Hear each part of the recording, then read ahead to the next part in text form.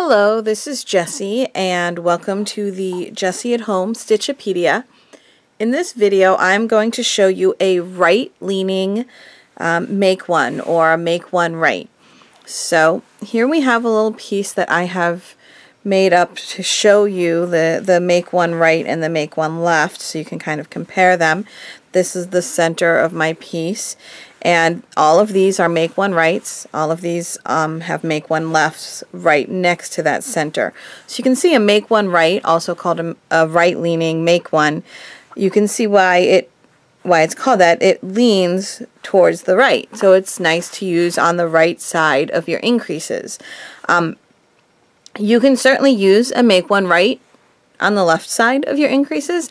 It will create a little ridge right next to your center stitch. So here's your center stitch. There would be, a, if you put a make one right on this side, you would have a little ridge right up next to it, which if that's the look you're going for, there's no reason why it doesn't work. But for now, I'm going to show you the make one right used on the right side. And um, just so that I can show you more of them, I'm going to show you a whole series of make one rights. But what you would normally do is you would work all the way up to your center stitch. So here is your center stitch and you would make your make one right in be just to the right of your center stitch. This is where you would put it to continue in this pattern. You would put it on the knit side and then you would just purl straight across and then you'd put another one on the knit side and purl straight across. So you actually only put the increases on every other one to make something that looks like this. So now I'm just going to show you the make one right. Like I said, I'm just going to show you a bunch of them rather than only putting one in on this row. So I'm just going to start by slipping my first stitch and then knitting the next one. Now a make one right. For a make one right, you're going to take your left hand loop sorry, left hand needle and insert it from back to front in this yarn strand that runs in between your two needles. So we're going to go from back to front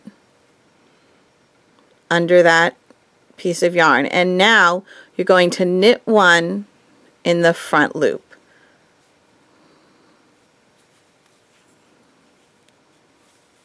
And that's a make one right. So let me knit another stitch and show you again. See the strand of yarn that runs in between the two needles? You're going to insert your left needle from back to front, back to front. Now that puts a loop on your needle and you're going to knit into that in the front of that stitch. Now what I'm doing with this finger here is I'm kind of rotating that stitch to the front so that I actually have a little space to slide my needle under. It's just a little trick I do so I can actually fit my needle under there, especially with these big needles. Going to knit another one and I'll show you again. There's this the little piece of yarn in between your two needles. You're taking your left hand needle and you're inserting it from back to front and then you're going to knit into the front of that stitch.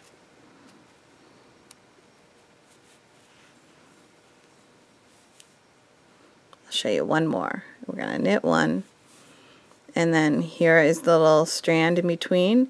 Insert your needle, your left needle from back to front and knit into the front of that loop you just put on your left needle. Okay, so I'm going to knit one more. There you have some right leaning um, make one right or right leaning increases and as you can see right here these are all your right leaning increases. So anyway, let's just go ahead and get to how to make that left leaning increase or make one left. So this is my center um, line of stitches and I'm just going to go ahead and knit that one. Now I'm going to make a make one left. To do that, you see this little strand of yarn that's kind of in between our two needles? I'm going to take my left needle and I'm going to insert that into the strand from front to back. And I've now put a loop on my needle. And I'm now going to knit into the back of that loop. So I'm going to go into the back of that loop and knit. Okay.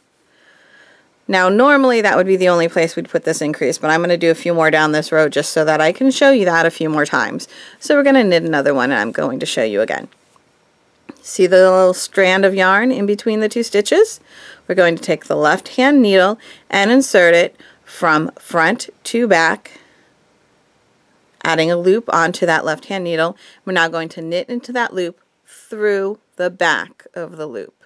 Sorry, knit into that loop through the back, uh, which is sometimes a little more difficult. There we go. And I'm going to knit the next stitch. And we'll show you that again.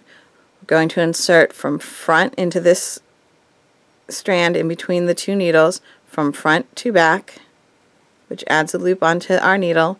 And I'm going to insert the right hand needle from front, in, sorry, right hand needle into the back of the loop that I just created. There we go. And knit. Knit one more. Let's do that again. Insert my needle, my left hand needle, from front to back, putting an extra loop onto my left hand needle, and knit into that loop into the back of that loop. So knit into the back of that loop. Alright, and knit one. I'll show you again, front to back, and knit into the back of that loop. Knit one, front to back, and knit into the back of that loop. Alright, so, oops, there you go. We have made several of those left leaning increases.